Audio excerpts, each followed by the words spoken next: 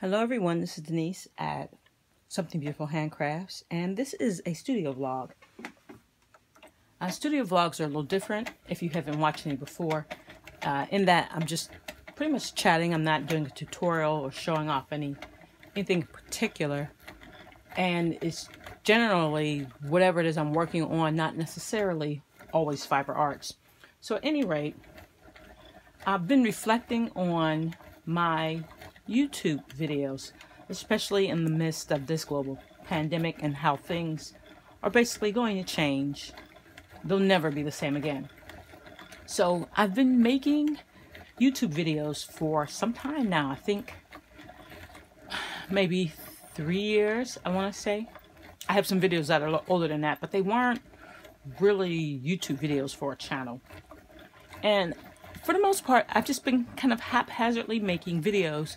A lot of them were for friends who needed to uh, know how to do something in particular, and, the easiest way to share it was to do YouTube. Uh, some of them were for clients who were actually paying, and the easiest way to do it was YouTube. And that's really before like the whole Zoom thing, or I paid any attention to Zoom. Uh, and then at some point I decided that I would actually try to grow my channel, but it was more because I wanted it to be productive and not so much that I had a goal to grow a channel or to be popular or anything like that. So it's only been the past year where I've actually started looking into strategies or things that need to be done to actually grow a YouTube channel. And it's only been the past couple of months where I decided that at some point in order to get this channel to um, really prosper, I needed to make it profitable.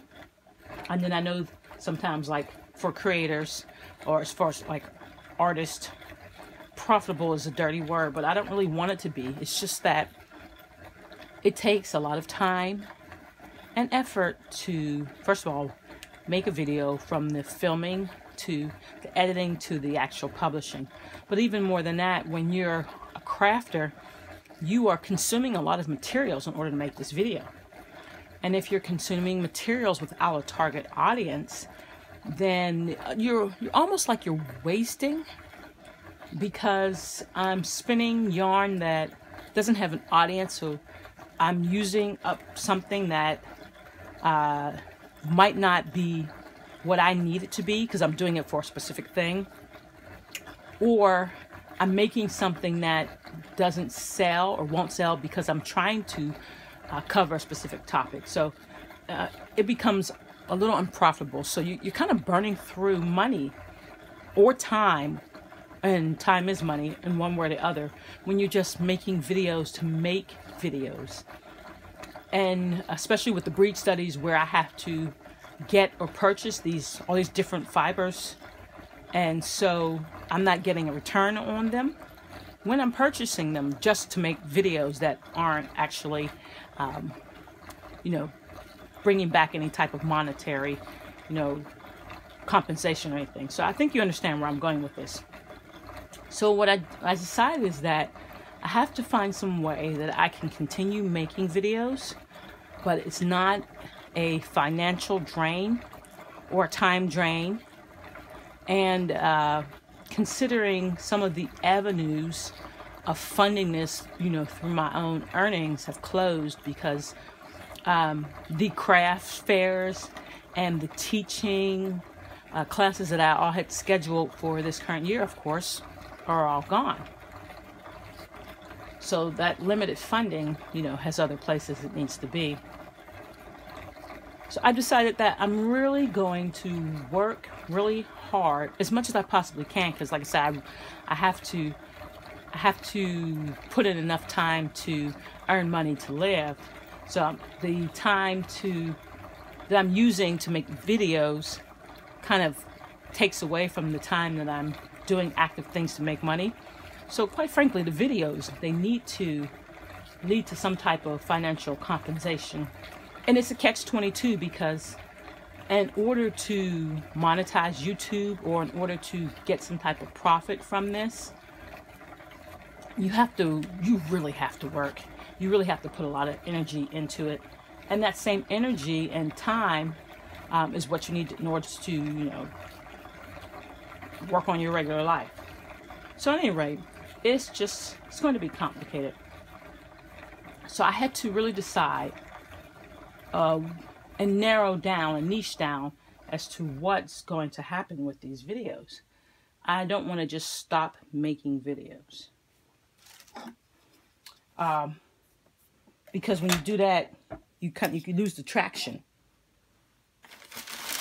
But at the same time, I've started working on uh, classes for user experience design. And I'm hoping to break into that career. And we're competing for time with this, with the whole UX design and with the YouTube videos. Okay, so to combat that, what I've been doing is making little shorts, calling it Makers Monday. And that allows me to keep the YouTube algorithm going because I'm actually making videos and posting videos, but I don't have the burden of making really long videos anymore that consume a lot of time with longer projects. So I hope that makes some sense. What that also means, though, is you're probably going to see a lot of me campaigning to get more users. Before, it was pretty much, you know, at the end of my video, hit like, subscribe, you know, whatever, whatever, whatever. I wasn't really trying to get a bunch of users. It's just they say you should say that, so I just toss it in. But now, I really need to move up in the game of subscriptions. So that's going to become pretty much a campaign across all my social media platforms. Like, subscribe, you know, tell me what kind of videos you'd like to see. I am open because I want my channel to be uh, basically tutorials and answering questions that you would need to ask uh, another spinner in order to improve your spinning skills. So not so much of me just droning on and on. I'm actually would like to just to be a teaching channel. So if you need, you know, some information or you need to see something done, just you know, type it in the comments. Hey, I want to see this. Because this is this is not a a vlog channel where you're just, you know, peering into my life and seeing what products I'm using and what things I'm making. This is more than that. This is educational. So tell me what it is that you need. Also, too, besides that, uh, I will probably be more overtly stating what I have for sale in my Etsy shop. And I, oh, I, I've said it. I've said it on Facebook. I've said it on Instagram. Uh, it was actually one of my best posts on Instagram. I've said it in my videos. I really hate selling to people. It just feels disgenuine, which is actually a real word, and it feels that way. Um, it feels artificial, a little contrived, and I don't, I don't like it. But you know what? It really is what needs to be done. If I want to continue offering free content to people, I it has to work out that way. You know? If I was if I had the classes set up and was able to do the classes the way that I had intended this year, I would, you know, be selling this information to people. And sorry you can't see what I'm doing. I'm actually putting the yarn on the cone and on the cone winder, which is a little hard to do when you're trying to stay out of the camera shot. Okay, so here we go. If I was, you know, teaching the classes in person, they for sure would cost money. So if I want to continue to give out this information for free, which I might add, other people are clearly charging for their classes. They're on Craftsy, uh, they're on Etsy, they are doing Patreon, and they're asking for subscriptions and these tutorials and classes and the feedback that they get are indeed things that are tiered for the Patreon members. And I'm not doing that. I'm just making videos and I'm doing it for free and I'm taking my time. So instead, what I'm going to really start doing is showcasing the stuff that I am preparing, like the roving or the bats that I'm preparing and some of the yarns that I have dyed. And I'm, I'm going to start putting shameless plugs into my videos.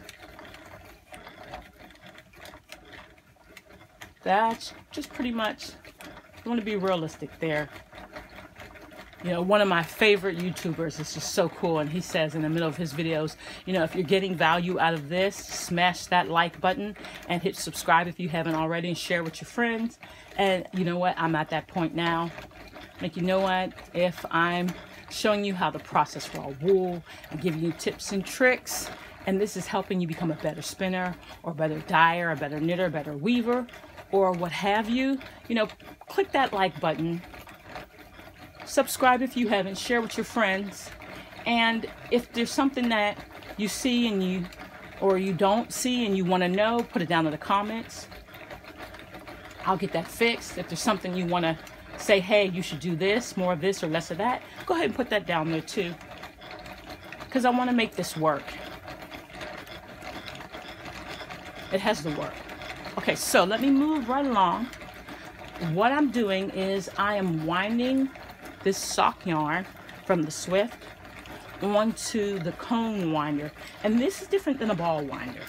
Okay, so I have bobbins right here, plastic bobbins, and they have bobbin holders. And this is how I crank the yarn uh, from this onto the sock knitting machine. Now, the circular sock machine, oh, sorry, here you go. Circular sock machine is really sensitive when it comes to tension. So if I'm trying to wind from a skein or a ball or any other preparation, which I have to say I do, you know I do. I do all kind of stuff like that. Um, I but usually what I do is when I have the the commercial balls of yarn, I pull out chunks so that it won't uh, create drag because you're going to get extra tension when you're pulling out from a center pull ball and the machine will change the uh, stitches per inch when it has that extra tension so you don't really want that. So to make the tension as even as possible you wind it onto here. And uh, maybe I'll do a the second half of the video and I'll show you the difference between the ball winder and the cone winder. Uh, this is a royal cone winder and my ball winder is a uh, knockoff of a royal then there is a big difference. So anyway, scanning these guys up, or I should say coning these guys. And then I'll take you to the sock knitting machine.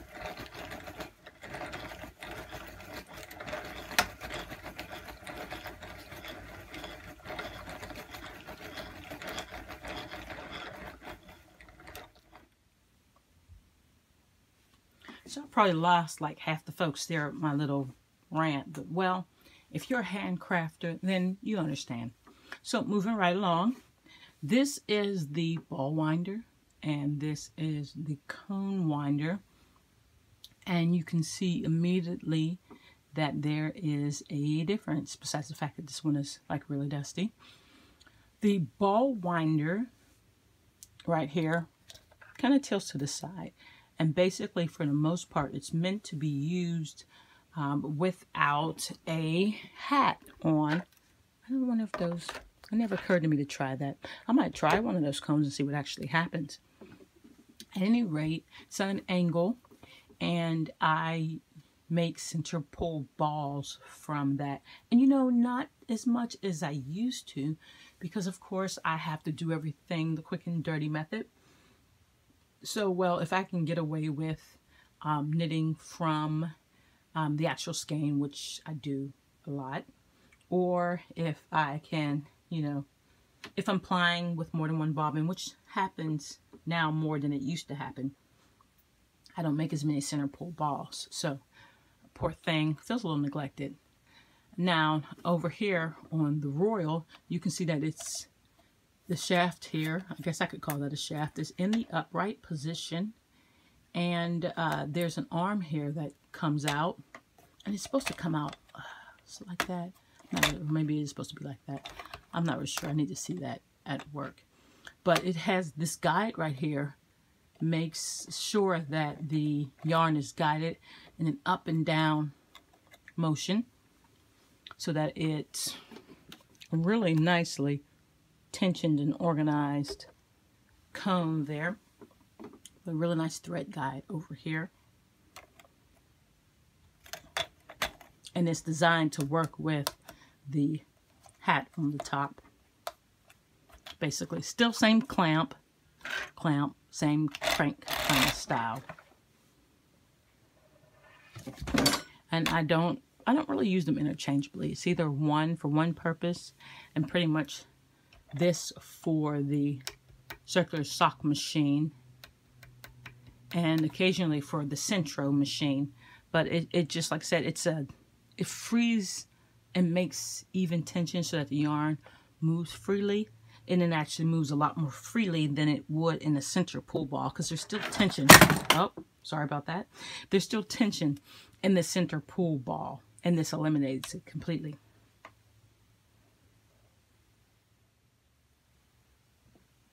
I have an Etsy order for socks and so this is a good time for me to show you what it is that I do when I receive Etsy orders. I think I, had a, video on what happens when fiber to spin comes in and this is what happens when socks come into crank. Okay, so if you haven't seen the sock video already that explains me walking through the machine, um, then you haven't seen this page right here. And this is not mine. I wish I had thought about it. but uh, this is from, let's see, it says the 1764 shepherdess.com. And that particular website, the lady does historical um, knitting and other different things. And so she has a sock machine and she made this chart in order to keep track of your socks. It was a great idea. And it was free to download. So here I am. Uh, I will, if I remember, I'll put a link to this one here. If not, it's there's a link in the sock knitting machine um, section, the NZAK playlist. There's a link to it there. Okay, so at any rate, I keep track of almost all of the socks I make. Uh, generally, if I'm repeating a particular sock, like I made a bunch in series, then I don't do each one. But what I do is um, I have numbers on the top of the pages to tell me what number sock. And then I'll do like a dash. It'll be number 18 through 20 or whatever. One of those pages in here is labeled like that. And it's the same sock in different uh, colors. So at any rate, uh, this is a different yarn and it is a different size. So it, it gets its own page, of course. I don't know what happened to that one over there. So at any rate, I'll fill out the finished sock. I'm going to jot down the yarn, where it came from. This is Vesper sock yarn. Um, I'm not familiar with this particular indie dyer. It is a beautiful yarn. Okay, so I fill it in. And it really helps. And I put the colorways and things here so that if it's something I would like to go back to, I can get it. Of course, the CSM I'm using is the NZAK. It is currently the only one I have. I am doing 8 stitches per inch, which is actually what's recommended on the label. And I'm going to use my 64, which there isn't a mark here for 64, so I just write it in. And I have the foot length. And the number of needles I'm using, of course, is 64. I'm going to do this cuff down. It's going to be hemmed. I may or may not do a ribber uh, or it'll mock rib. It'll be one or the other. And then I plot out my row counts. So what I did with this yarn is I cranked the entire tube out. And what that does at the gauge that it's supposed to be, it gives me a rough idea of how many rows this tube for the yardage will crank out to. This is all rough, but it's, it's nice to have an estimate of how much I have to work with. There's 428 yards of yarn. So I'm going to put that down here in my notes. 428. And I had 418 rows crank out. So I'm going to divide this roughly. So I have roughly 209 rows for each sock to play with. So it just gives me like rough estimates. And then what I do is for the size of the foot, I it what's needed for the size of the foot is pretty constant. Okay, so I would fill that in. And the I use the measured threads sock calculator, and uh, I like that one. It's worked for me good, so I just stick with it. It also gives me a rough estimate for the heel and the toe. I never find that to be quite um, the same for that one. Now, I know when I do my socks, when I first did the socks for my foot, I actually paid attention to what the heel and toe was. So when I crank out a pair for me, I already know that at the stitches per inch that I was using, this would be my heel and this would be my toe. So I added that in here. So in this case, I'm going to take the calculation from the measured thread for the heel and toe and kind of give it a little bit of wiggle room. I also know what the cuff is going to be. So whether I do mock rib or the ribber, it does actually doesn't matter. I'm going to hang this hem. So if I want a hem that's going to be, well, a cuff that's going to be three inches, then I know how many stitches per inch I have, which is eight. So I multiply that, and I know that I need to have um, 48 rows for this cuff, or if I'm going to fold it over, because then 48, I need 24 to get three inches. I'm hanging it over, so I need 48 rows for this cuff. Okay, so these are some things I would already have blocked in. I'd have the 48 blocked in. I'd have whatever this measurement is going to be blocked in. And then I would kind of have these sort of blocked. And I know approximately what the, the calculator says is going to be. Then I would know how much, how many rows I have left in order to make this the maximum length I can make it using up the maximum amount of yarn. So I want to use up all of it if at all possible, and have very little waste left. I mean, at this point, I have maybe three, four yards left, and I think that's pretty good in this case. Um, if I was only making a tube, you know, you'd have some left over to make the heel and toe, but since I'm making the complete sock, I just want to go ahead and use it all. And so basically, that's what I do. Now, I have four skeins from this customer. So once I complete one sock, and I have very specific calculations. I complete the next sock and I can just make them all the same because they're all going to be the same size sock. Bam. That makes it really easily. Of course, then at the bottom, you know, you put who it's made for, date, all that other stuff, hem, leg, foot. That stuff is down here. And I keep track of all of that. It also helps too that for some reason I was ever using this yarn. Again, let's say she sends more then I, I have a really good idea for this yarn what tension it likes. So what I did was I cranked it into a tube, and this is recommended. And it's not just recommended for beginners. Whenever you're using a different um, sock yarn, they all behave differently. You know, um, the alpaca sock yarn was super, super stretchy. And when I did it at 8 stitches per inch, it was just a really floppy sock. So um, I had to take it up to nine. And even at nine, it was like a super floppy sock. So actually that one I'm cranking at almost 11 stitches per inch just to get the right feel for it. And where'd that guy go off to? Oh, here it is. Okay, so here it is at 11 stitches per inch. Okay, if I did that with the Kroy sock, it would be stiff as a board. Um, the merino sock that came from uh, Dyer Supply is cranked at nine and a half, ten. It needed to be cranked more at a tighter gauge than the Kroy sock. It was totally different. And these are all sock weight, fingering weight type yarns. But the, what they're made from does make a difference in the tension that you used. And remember too that yarns have ranges. So a fingering weight can have a, a range.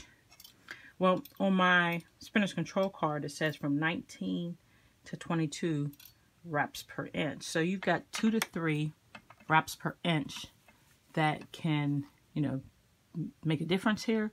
So what goes through the machine at one tension doesn't necessarily feel the same in a different yarn if you use that same tension. So you have to make the adjustment yourself. All right, so going down to the sock machine. I had gotten like really deep into the whole sock when it occurred to me that this is not a sock video. This is a studio vlog. So I need to talk about something more than just the socks.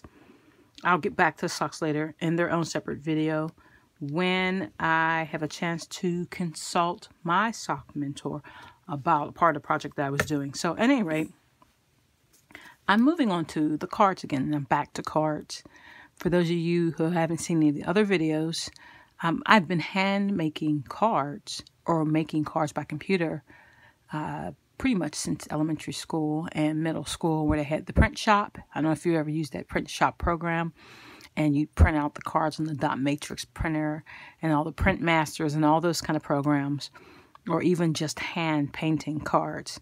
So I started up again in order to make cards to go with the items that I sell. So if you ever bought anything from me, you've had a handmade card uh, come with that item. So at any rate, I'm making my 100 cards for Christmas. I do this every year for my church, and we pass these out throughout the neighborhood with little Christmas goodie bags. So this year's card, uh, I found these embossing folders at Michael's, actually. And they are really neat, and they came with a die.